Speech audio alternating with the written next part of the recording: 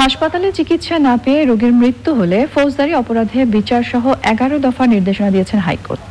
আর এই নির্দেশনা যথাযথভাবে পালিত হচ্ছে কিনা সে সম্পর্কে ত্রিশ জুনের মধ্যে জানাতে স্বাস্থ্য মন্ত্রণালয়কে নির্দেশ দেওয়া হয়েছে। নির্দেশনায় বলা হয়েছে, অক্সিজেন সিলিন্ডারের খুচরা মূল্য নির্ধারণ এবং চিকিৎসকের ব্যবস্থাপত্র ছাড়া সিলিন্ডারের খুচরা বিক্রি বন্ধে সংশ্লিষ্ট কর্তৃপক্ষকে বিবেচনা করতে বলা হয়েছে। মাজহারুল হক মানা রিপোর্ট। করোনা পরিস্থিতিতে সরকারি, বেসরকারি হাসপাতালে রোগীদের চিকিৎসার বিষয়ে নির্দেশনা চেয়ে কয়েকটি রিট আবেদন করা হয় হাইকোর্টে। গতকাল ওই আবেদনের উপর শুনানি হয়। আমাদের বক্তব্য ছিল সেন্ট্রাল বেড ব্যুরো না হলে এবং প্রাইভেট হসপিটাল সমূহের আইসিইউ গুলি অধিগ্রহণ করা না হলে আমাদের রোগীদের রাস্তায় ঘুরতে ঘুরতে মৃত্যুবরণ করতে হবে। ওনারাও বলছে না যে আমাদের সরকারের কোনো রকমের গাফিলতি আছে বা কোনো রকমের আন্তরিকতার অভাব আছে।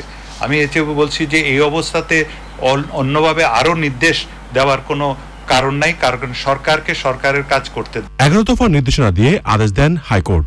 এতে নন কোভিড কোভিড রোগীদের চিকিৎসা এবং পঞ্চাশ শয্যার অধিক বেসরকারি হাসপাতাল বা ক্লিনিকে পনেরো জুন পর্যন্ত কতজন নন কোভিড ও কোভিড রোগীদের চিকিৎসা দেওয়া হয়েছে, এই সংক্রান্ত প্রতিবেদন দিতে স্বাস্থ্য অধিদপ্তরকে নির্দেশ দেওয়া হয়। নির্দেশনা বেসরকারি হাসপাতাল ও ক্লিনিক যথাযথভাবে পালন করছে কিনা তা ওই হাসপাতালের কর্তৃপক্ষ পনেরো দিন পর পর প্রতিবেদন দিয়ে স্বাস্থ্য মন্ত্রণালয়কে জানাবে। সকল বিভাগীয় শহরে বেসরকারি হাসপাতাল ও ক্লিনিক যেন সব ধরনের রোগীদের পরিপূর্ণ চিকিৎসা সেবা দেন, তা মনিটরিং করতে বলা হয়। কোনো হাসপাতালে গুরুতর কোনো অসুস্থ রোগীকে চিকিৎসা সেবা প্রদানে অনীহা দেখালে এবং এতে রোগের মৃত্যু হলে তা ফৌজদারি অপরাধ হিসেবে বিবেচিত হবে। কোনো হাসপাতালে আইসিইউর শয্যার কি অবস্থা, তার আপডেট প্রতিদিনের বুলেটিন ও সামাজিক যোগাযোগ মাধ্যমে প্রচার করতে হবে। অক্সিজেন সিলিন্ডারের খুচরা মূল্য ও রিফিলিং এর মূল্য নির্ধারণ করে দিতে সংশ্লিষ্ট কর্তৃপক্ষকে নির্দেশ দেন আদালত। চিকিৎসকের ব্যবস্থাপত্র বা রোগীর পরিচয় ছাড়া সিলিন্ডারের খুচরা বিক্রয় বন্ধে সংশ্লিষ্ট কর্তৃপক্ষকে বিবেচনা করতে বলা হয়েছে।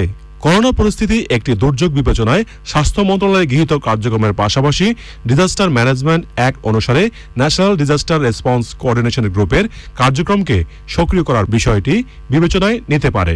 বেসরকারি হাসপাতালে করোনা রোগীর জন্য আইসিইউর ভাড়া যৌক্তিক পর্যায়ে রাখতে স্বাস্থ্য মন্ত্রণালয়কে বলেছে আদালত। যেসব নির্দেশনাবলী জারি করেছিল, সেগুলি যেন কোনো ব্যত্যয় না ঘটে এবং এবং এর সঙ্গে আরেকটা নির্দেশনা যে পৃথক ব্যবস্থা রাখবেন এবং বলেছিলেন যে যারা যেসব হসপিটাল তাদের নির্দেশনাবলী মানবে না, তাদের লাইসেন্স বাতিল সহ শাস্তিমূলক ব্যবস্থা নেবে সেই ব্যাপারেও দৃষ্টি রাখতে বলেছেন আদালত। কোনো অবহেলাজনিত মৃত্যু ঘটলে সেটাকে ফৌজদারি অপরাধ হিসাবে